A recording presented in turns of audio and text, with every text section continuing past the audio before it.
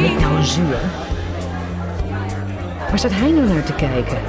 En naar zijn secretaresse? Wat is het toch mooi. Ze zijn bijna twintig jaar getrouwd. Hebben een puberende dochter. En hij staat gewoon met zijn secretaresse te flirten. Mannen, ze zijn ook allemaal hetzelfde. Staat de buurman nou naar mij te lonken?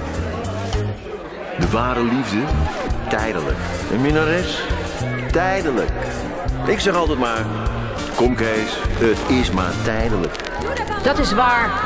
Ach meid, niet zeuren. Ze wilde hem toch zo graag? Ze mag hem hebben. Heerlijk in het land.